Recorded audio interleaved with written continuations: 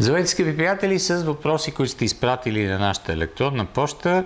Лъчезар Николов повдига една интересна тема, която е свързана с а, изграждането на пилотите и разликата, която някой път се получава в резултатите, които те имат като състезатели по картинг и след това като пилоти във Формула 1.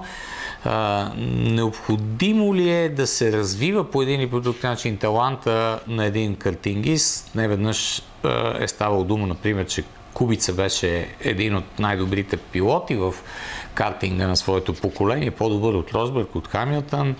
Алонсо това цитира като пример за разликата в представянето на пилота.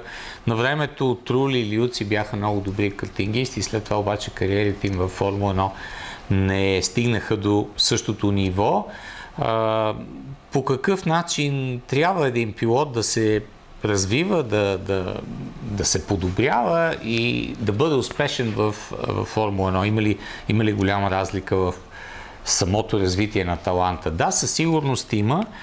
Онова, което така ми се ще да, да кажа по темата е първо нещо, което съм чул лично от Хамилтън. Той обясняваше, че в настоящия формат на Формула 1 едно от най-важните неща, може би най-важният компонент в успеха на един пилот е връзката с отбора и изграждането на, на много преки, много честни, много е, добре работещи взаимоотношения между пилот и отбор.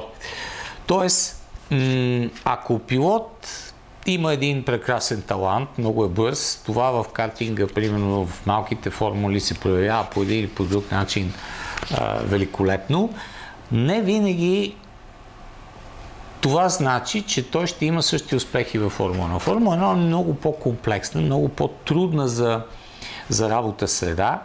И в а, а, това отношение, особено тогава, когато срещу себе си имаш 20 също толкова талантливи, толкова бързи пилоти, трябва, за да постигнеш максималния успех, на първо место казвам, трябва да имаш тази перфектна комуникация с, с екипа.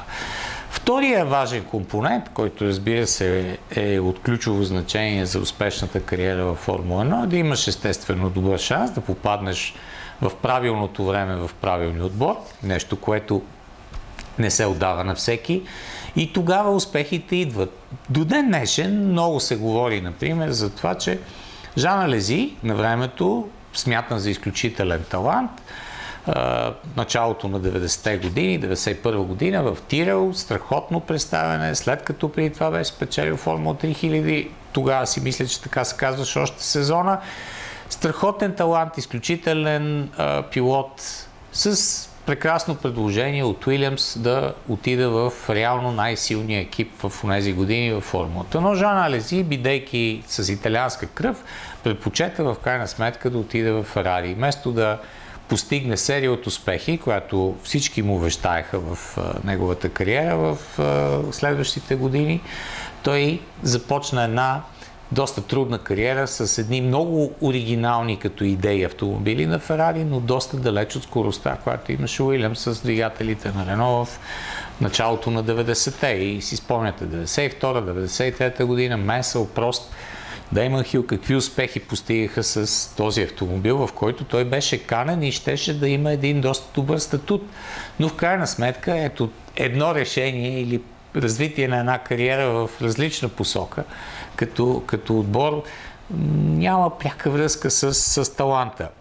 Има още един куп други елементи, които е, пилот трябва да изгради, да добави към своя чист състезателен талант, за да бъде успешен. И, и те пак са свързани до, до много голяма степен с а, а, начина по който а, води преговорите си с отборите, по който води ежедневната си комуникация и, и така нататък. Тъй, че за, да, за да си успешен, трябва да имаш много-много качества и, и характер достатъчно силен. Това също е важен фактор, защото може да си прекрасен и в комуникацията, и в това, но да не си достатъчно твърд. И когато не си достатъчно твърд, просто другите те, те мачкат или да не си достатъчно психически стабилен нещо, което също е а, факт при а, немалка част от, а, от пилотите в миналото и сега. Никой няма да забравя, примерно, какво пише Джеки Стюарт в една а, своята биография за Джек Икс. Джек Икс е един от моите любими пилоти, страхотно бърз състезател, който обаче според Джеки Стюарт никога не е бил достатъчно постоянен. Постоянството, това да изважда 100%, 110% от качествата си във всяко едно състезание е от ключово значение, за да постигнеш резултат. Икс може да е бил по-бърз от Стюарт в не едно състезание, но не е бил достатъчно постоянен, не е бил достатъчно балансиран в представянето си. Благодаря за, за въпроса. Ще бъдем отново заедно скоро.